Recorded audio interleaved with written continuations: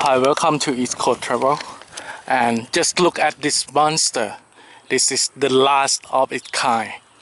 This is the last tin dredge of the world that's still in whatever is the better shape than the other. I think this is the only one that still look almost like the same. This one is the massive floating factory.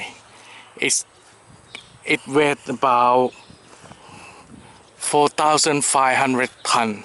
And the way they operate they are cutting scooping up all soil in front of the this is this is actually this this is a boat. It's floating on the pontoon. And it it dredge all soil water everything and scoop it up and process it inside. And they separate from uh, the tin the tin mineral from the soil and uh, spit it out uh, the, the, the, the leftover on the back. And it's moving slowly slowly all the time.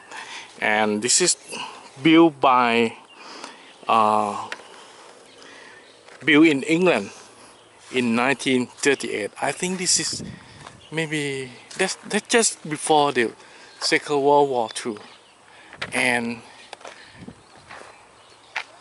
it's still operable until 1980 and after that it's left over here because uh, I think there's, there's the soil run out of the tin and the pricing the price of the tin is collapsing collapsed at the time so the tin is not worth to dredge anymore. And also high cost and other stuff other problem. Now it's just big house for this little bird and they have some project to turn this to something like a mini mini theme park and it's quite interesting because there are many historical uh, sites in the Perak state of the Malaysia. And this one is might be the last of its kind. The legend of the tin mine industry in Southeast Asia especially of uh, the Malaysia. The tin mine someone said the tin mine made this country. And the labor who import from the southern Indian, also southern China, became part of the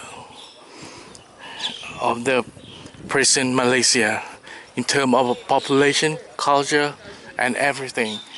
This place is near Ipoh, the the northern city that rising up from the tin industry and mining industry, and this is the last remain of that era, that bygone era, that will never be the same again.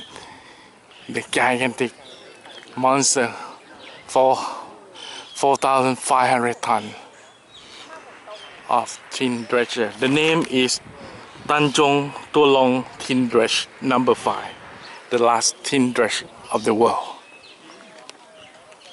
Amazing. Thanks for watching. It's called Travel on YouTube.